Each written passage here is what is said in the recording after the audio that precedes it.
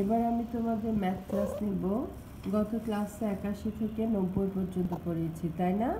আজকে পড়াবো নয় দশ এক একানব্বই, নয় দশ দুই বিরানব্বই, নয় দশ তিন তিরানব্বই, নয় দশ চার চুরানব্বই, নয় দশ পাঁচ পঁচানব্বই। ম্যাডাম, আবার বলছি দেখো, নয় দশ এক একানব্বই, নয় দশ দুই বিরানব্বই, নয় দশ তিন তিরানব্বই নয় দশ চার চুরানব্বই নয় দশ পাঁচ পঁচানব্বই এরপর কি আছে দেখো নয় দশ ছয় ছিয়ানব্বই নয় দশ সাত সাতানব্বই নয় দশ আট আটানব্বই নয় দশ নয় নিরানব্বই দশ দশে একশো মানে এক ডবল শূন্য একশো নয় দশ ছয় ছিয়ানব্বই নয় দশ সাত সাতানব্বই নয় দশ আট আটানব্বই নয় দশ নয় নিরানব্বই দশ দশে একশো। তাহলে তোমরা একানব্বই থেকে একশো পর্যন্ত শিখবে এবং লিখবে। আমি একটা লিখে দেখাচ্ছি, দেখো।